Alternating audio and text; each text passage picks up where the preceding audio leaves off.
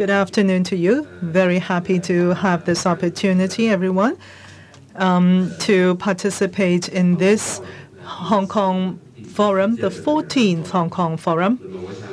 I would like to take this opportunity to introduce to you the Shanghai uh, Free Trade Zone and the development of it.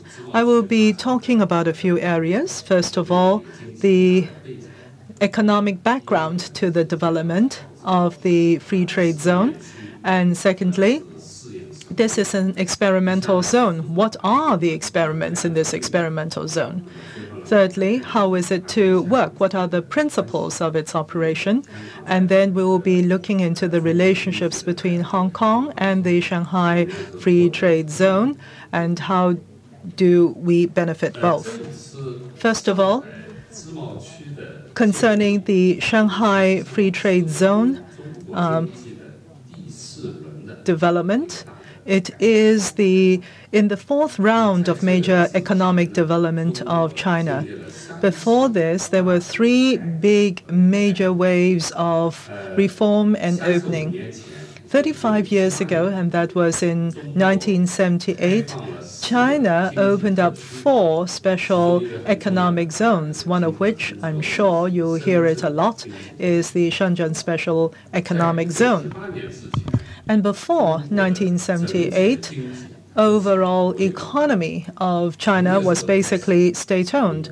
And starting from 1978, there were privately owned enterprises and some of them with for foreign investments. And it was a fundamental change and reform in the economy of China.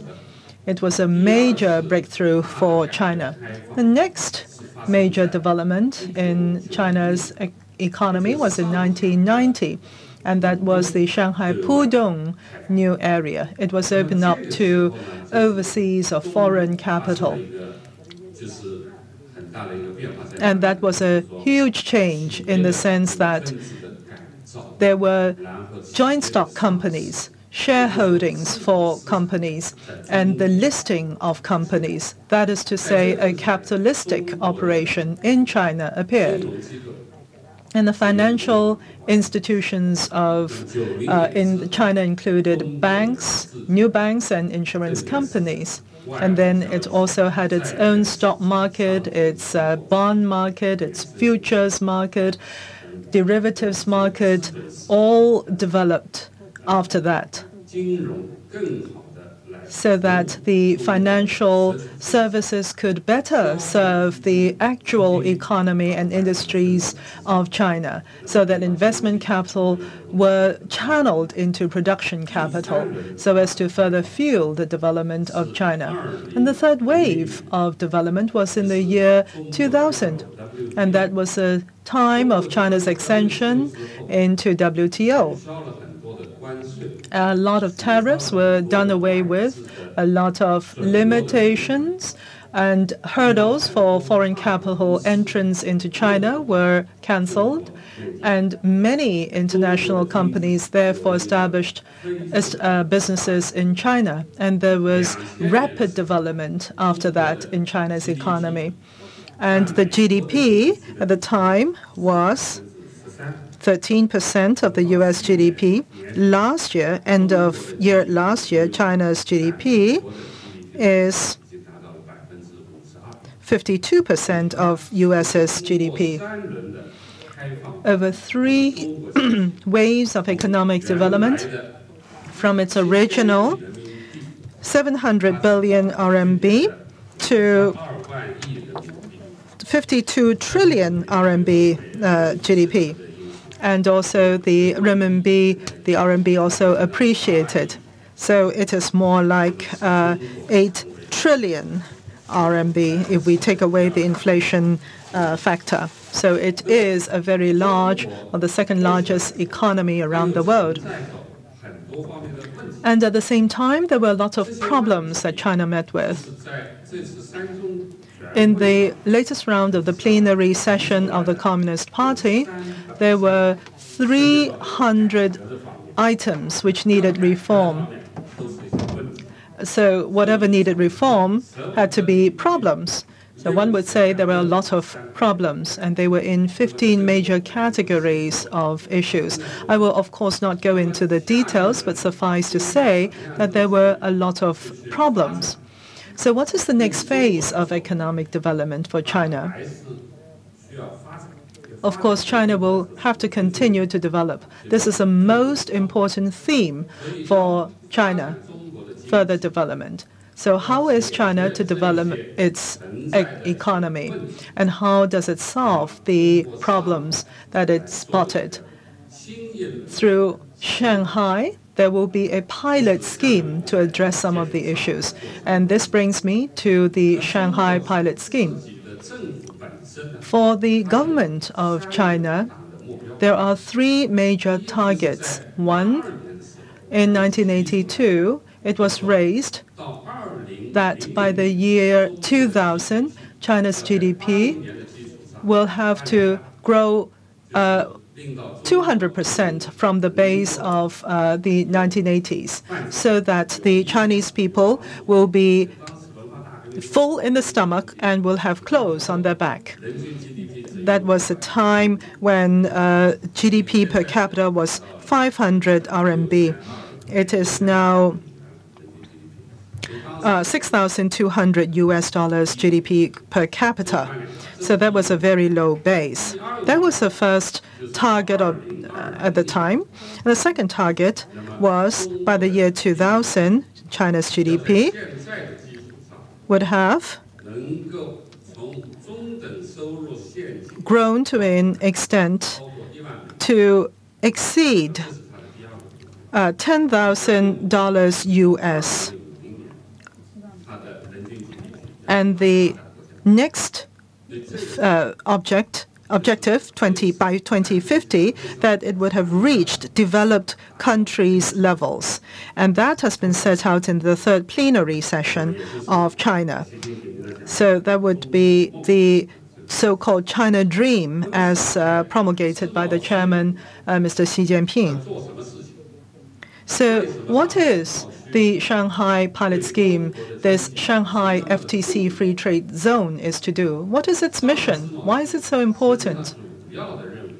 Actually, there are three main objectives again. First of all, opening up the service industry. Within the service industry will be professional, social, cultural, and financial industries. Opening up the service industry.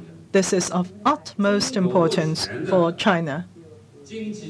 At present, the economic structure of China is such that the primary industry is 10% of the GDP, but the labor is 38% of total.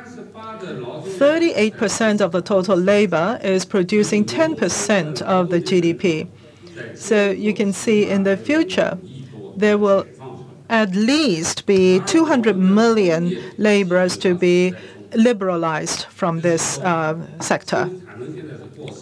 At present, there is overcapacity, and uh, what we produce in overcapacity, we are selling to overseas uh, markets already. So in the future, as labor is liberalized, uh, there will have to be the service industry to absorb the labor. It was 45% of the entire GDP for service industry last year, and every year going forward, service industry will increase by 1%. Now that is the express target of the central government. So service industry in the future will be the main growth engine of GDP growth in China. And this is another uh, guarantee why urbanization will come to pass because only through this will the extra labor from the rural development be absorbed. And a second point is that the service industry is still very different from the overseas industry. For service industry as a percentage of trade is still only 10%, and the global ratio, average speaking, service to total trade would be about 18% to 20%. So for China's service industry, it is really falling behind. It lags behind the actual trade. So in order to improve on the service industry so as to realize the goal of urbanization, the service industry will have to open up. And also, it will have to be reformed and open up internationally so as to fuel the further development and improvement of the service industry. So that is another mission of the free trade zone. And the third one is the negative list to improve the uh, government administration functions to change from a state-owned economy into a market-oriented uh, economy, from a planned economy to a market-determined economy. So for the future, where there are unnecessary regulations and unnecessary approvals by the government, these will be done away with. So what is not uh, disapproved will be deemed as approved. By so doing, there will be higher efficiency and also a lowering of grafting opportunities and corruption opportunities. You would also have noticed, perhaps, that for the first list of the negative list, there are 190 of them. And of the 1,060 total items in the negative list, it is 17.8%. This is the 2013 version. As we come to 2014, 2015, there will be an upgrading of the version. That is to say, the so-called negative list will be contracted. That would include industrial, service, and agricultural sectors. And therein are uh, security issues concerning the finance and economy of China. Those will be kept. And for culture and other aspects, they will be liberalized. For anything that stands in the way of economic efficient development in terms of approvals and uh, bureaucracy will be done away with. So through this negative list management to improve the market mechanisms operation in China. And another area is to facilitate global trade and investment.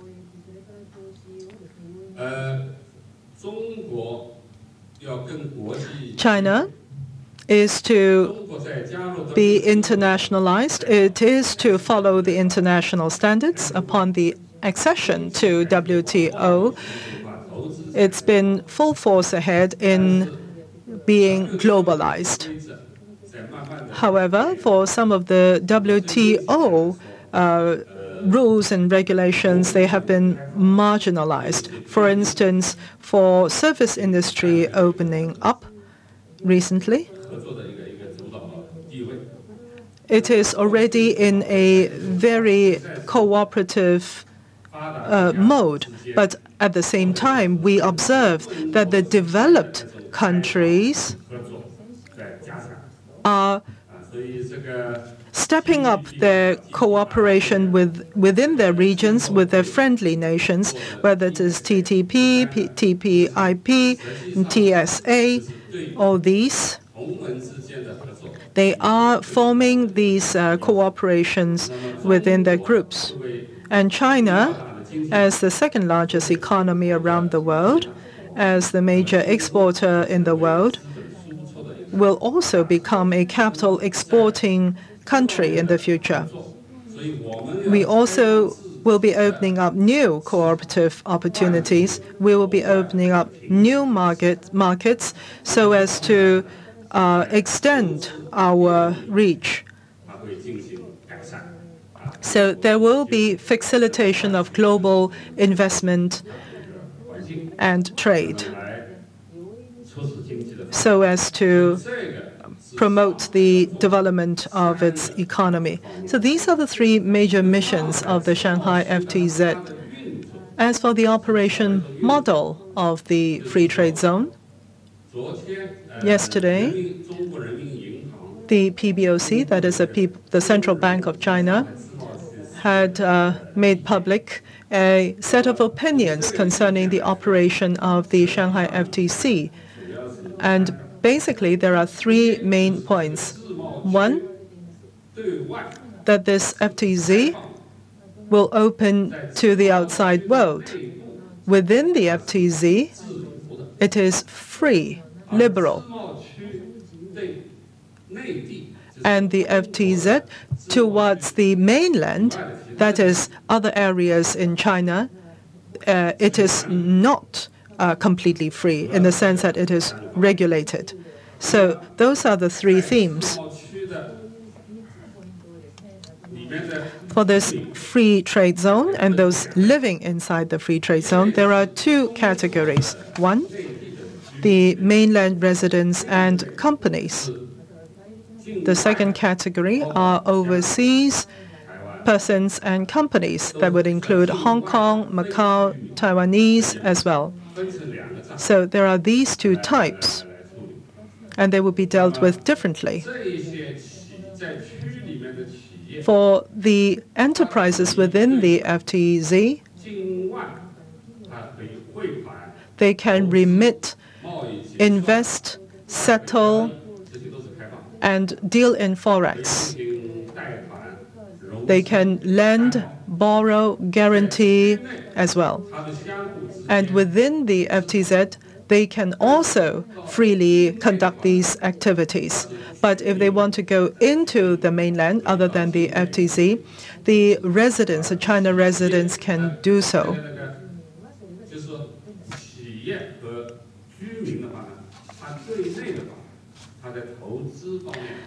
For investments into the mainland, uh, they can invest in industries, they can conduct in trade.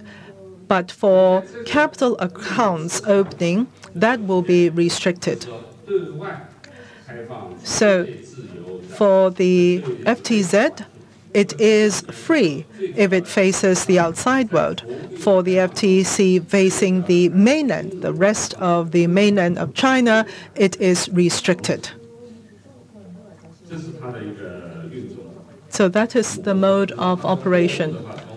As for goods, for goods coming from outside of China into the FTZ, it is in the bonded area, and that falls into the overseas category. But for the goods to go into the mainland, they will be subject to tariffs. The setup of the Shanghai FTZ and its relationship and impact on Hong Kong. Some people worry that the Shanghai Free Trade Zone will become another Hong Kong or take the place of Hong Kong. I personally feel that that will not be the case, and the central government has no intention to take away the position of Hong Kong, and Hong Kong's position cannot be done away with. Shanghai Free Trade Zone in the next two to three years will be copied in other areas of China. If the FTZs become Hong Kong, first of all, this will present uh, financial uh, problems. And at the same time, in fact, it would not be replicated in any short time in other places in China. But there are certain areas such as uh, offshore finance, transport and logistics industry, entrepot trade, there may be certain impact to Hong Kong. But it also opens up certain opportunities for Hong Kong, such as one, for mainland market opening. China's market opening up, especially in the area of service industry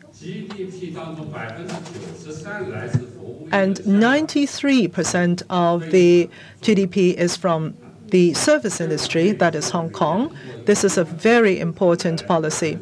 As you know, there is a CEPA between Hong Kong and the mainland.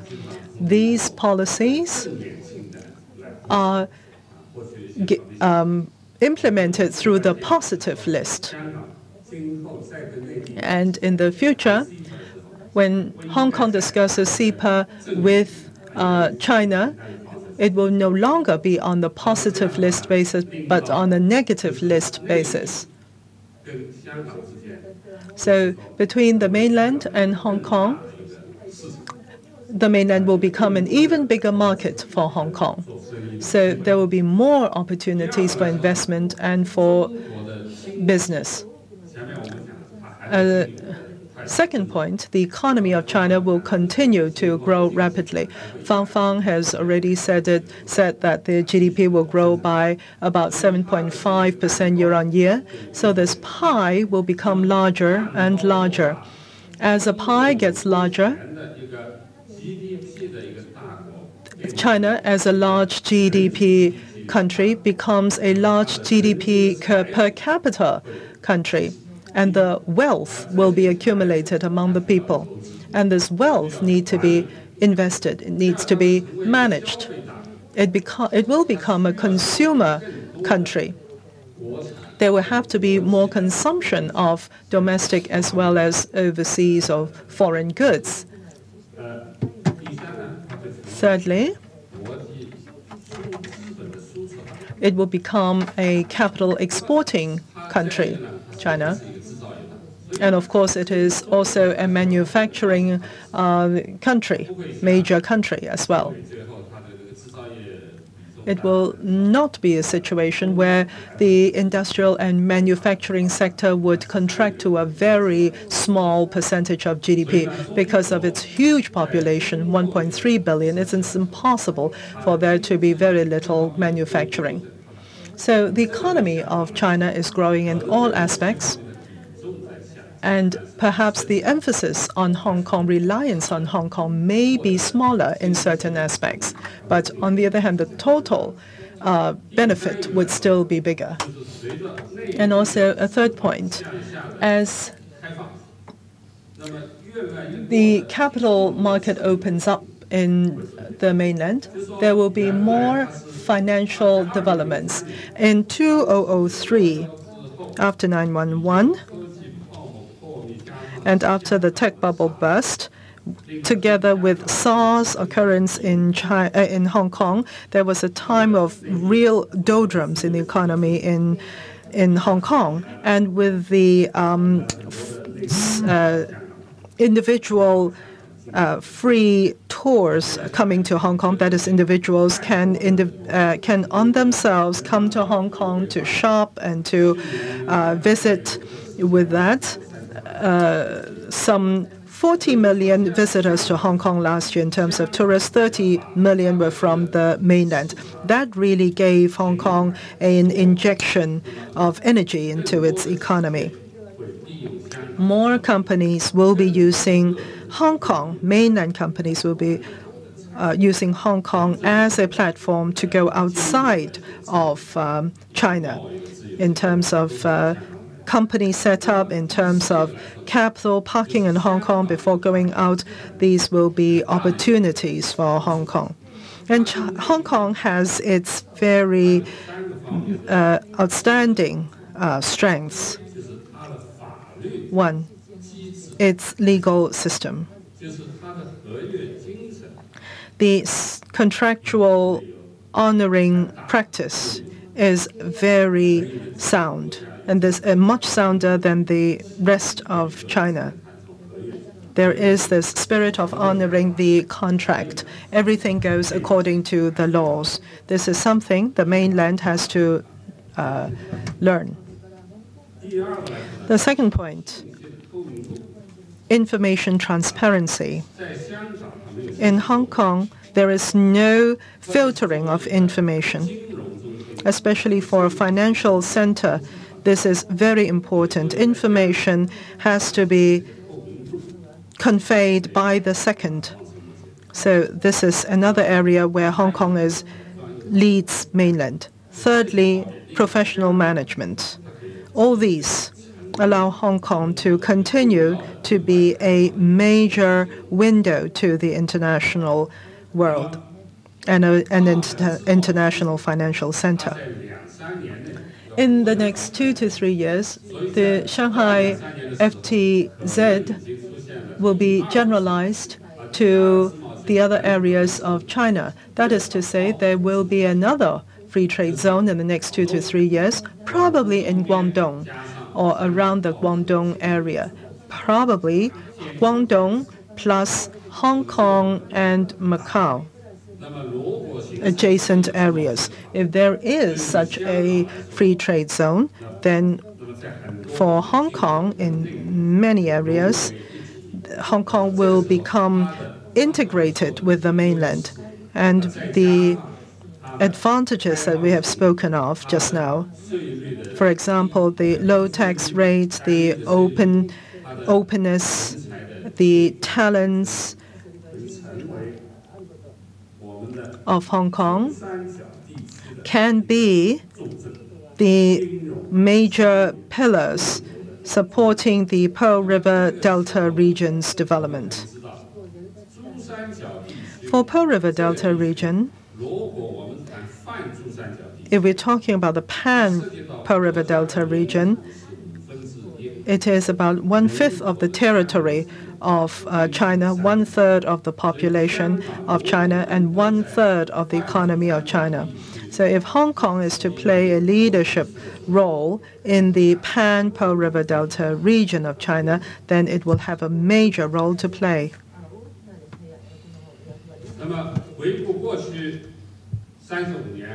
If we look at the past 35 years and its reform and opening up, in the first phase of its opening up, and that is the opening up of Shenzhen, a lot of Hong Kong companies went into China, and Hong Kong also transformed itself economically. As Shanghai reforms and opens up, that is at the point of establishing shareholding companies, China became the listing venue of the H shares and red chips. Upon China's accession to WTO, Hong Kong's entrepot trade increased significantly.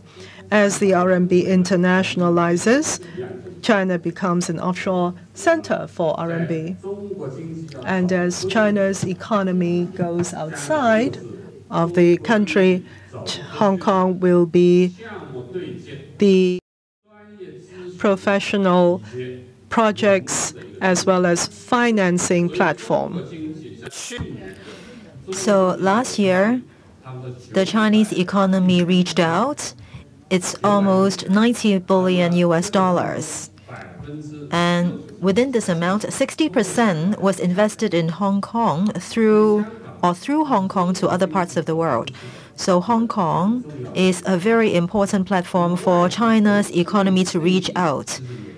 And in relation to foreign investment into the mainland, 60% of these investments were through Hong Kong. So here we have two 60%. So we can see that in the open reform and economic development of China, Hong Kong really plays an important role. And in the future, this role will continue. In the future, Hong Kong will still remain an important financing, wealth management, RMB transaction center. When I refer to RMB, Hong Kong is not only an offshore center, it is also a transaction center or trading center. So securities, bonds, foreign exchange, metals, and so on, insurance, all these will be well developed here.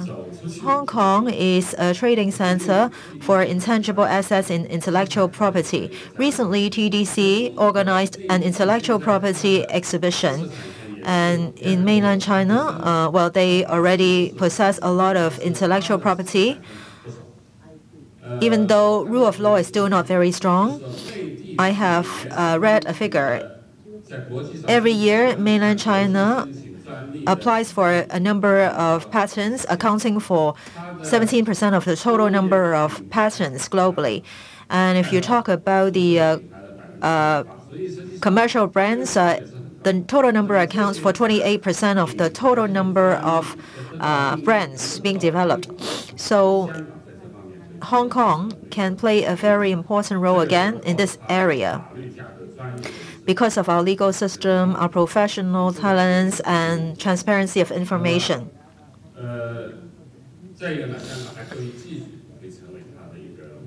And Hong Kong can continue to be a logistics center. Uh, after the completion of the cruise terminal, there'll be a lot of tourism-related developments which will capitalize on the cruise terminal. There will be the opportunity to become the pan-PRD region commercial and financial center.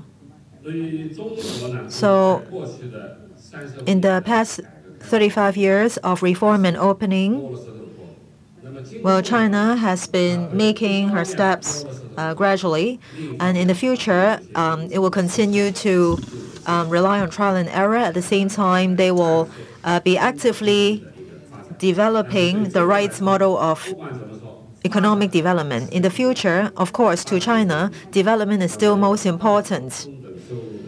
We want to um, cross over the uh, limitation of middle income. This is said very clearly in the third plenary.